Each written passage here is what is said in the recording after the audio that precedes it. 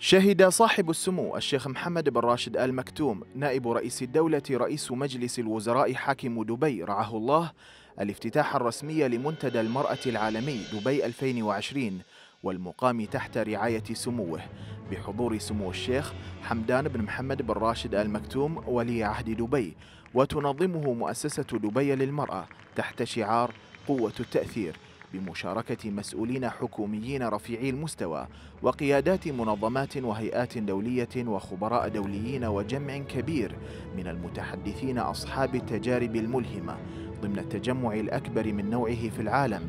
بإجمالي مشاركين ناهز عددهم ثلاثة آلاف من مختلف أنحاء المنطقة والعالم. وتضمن الافتتاح الرسمي لمنتدى المرأة العالمي كلمة افتتاحية ألقاها ديفيد مالتاس رئيس مجموعة البنك الدولي. تناول خلالها جهود البنك الدولي في تمكين المرأة على الصعيد الاقتصادي لا سيما من خلال مبادرة تمويل رائدات الأعمال والتي تتخذ من البنك الدولي مقرا لها والتي أشاد فيها بدعم دولة الإمارات لها كونها إحدى الدول التي شاركت في تأسيسها. أعقبها جلسة حوارية مع كريستالينا جورجييفا مدير عام صندوق النقد الدولي وحاورها فيها الإعلامي جان دفتيريوس من شبكة سي إن إن العالمية. تطرقت فيها إلى الأوضاع المالية العالمية ومستقبل التنمية حول العالم والتأثيرات المنتظرة لانتشار فيروس كورونا.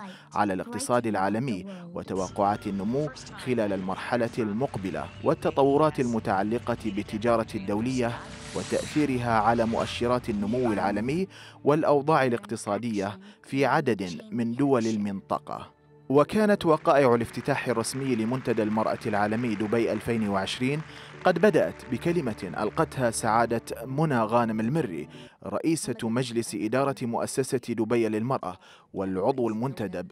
نقلت خلالها رسالة ترحيبية من حرم سمو الشيخ منصور بن زايد آل نهيان نائب رئيس مجلس الوزراء وزير شؤون الرئاسة. سمو الشيخة منال بنت محمد بن راشد آل مكتوم رئيسة مجلس الإمارات للتوازن بين الجنسين رئيسة مؤسسة دبي للمرأة.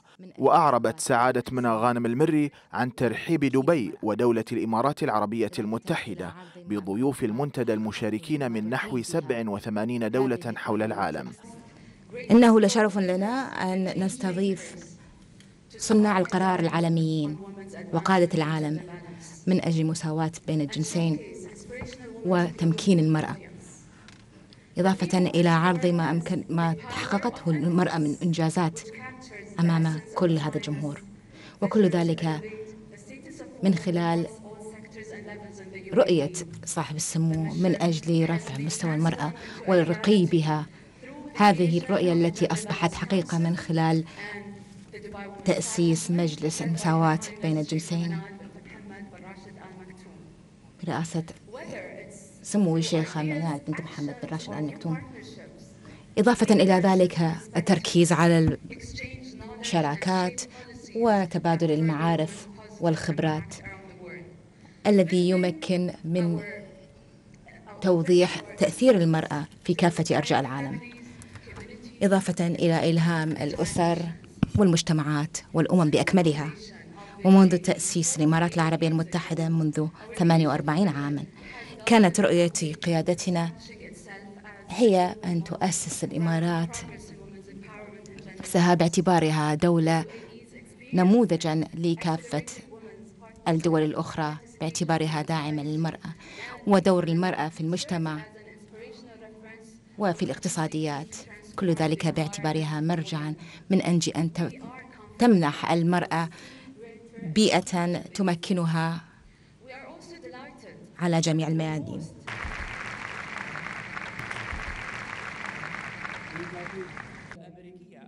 وخلال كلمتها في الافتتاح الرسمي للمنتدى أشادت إيفانكا ترامب مستشارة رئيس الولايات المتحدة الأمريكية بجهود دولة الإمارات في مجال دعم المرأة وإسهامها في إنجاح مبادرة تمويل رائدات الأعمال والتي كانت شريكا في تأسيسها ولعبت دورا رئيسا في حشد الدعم المادي لها من أجل تعظيم فرص رائدات الأعمال وتأكيد فرص نجاح مشاريعهن.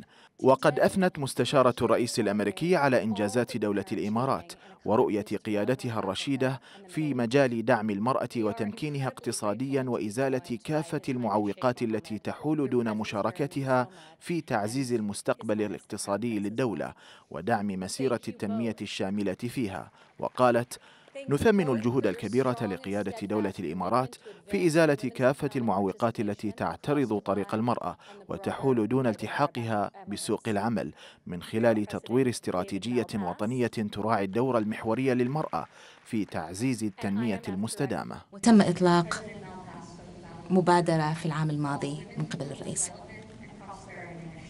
مبادرة الرفاهية للنساء وهو أول مقاربة للولايات المتحدة وحكومتها من أجل تمكين المرأة ويركز على ثلاث ركائز إعطاء تعليم مهني للنساء تمكينهم من أجل النجاح باعتبارهم رائدات أعمال إضافة إلى إزاحة كافة العقبات التي تواجههم من وتحول دون مساهمتهم في اقتصاديات البلاد. وذلك بحلول عام 2025 وقد أثرنا بحياة 12 مليون امرأة.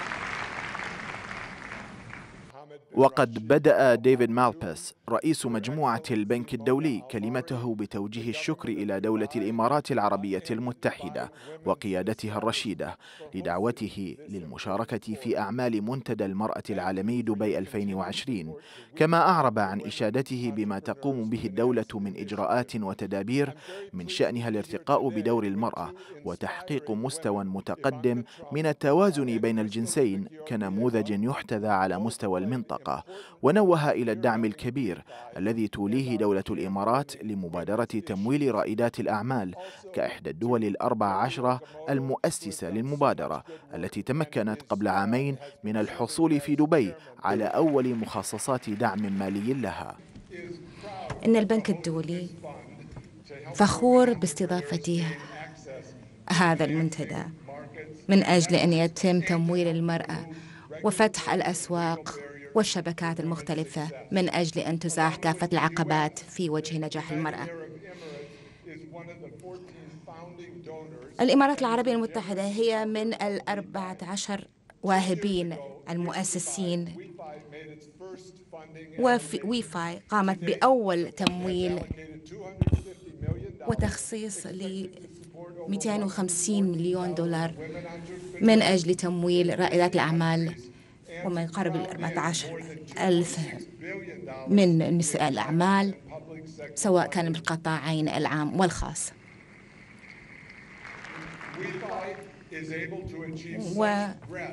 وتم تحقيق كل هذا النطاق الواسع من الأعمال بسبب واهبينا وشركائنا وكافة الشبكات التي تعمل معنا واللاعبين الذين يقومون بجهد رائع.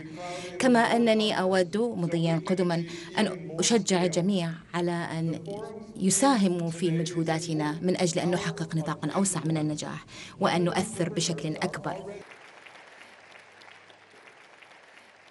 وقال إن صندوق المبادرة أفرد نحو 250 مليون دولار من المتوقع أن تدعم 114 ألف رائدة أعمال في 50 دولة فيما من المتوقع أن تكون مشاريعهن محل استثمارات تقدر بنحو مليارين وستمائة مليون دولار من مصادر تمويل حكومية وخاصة.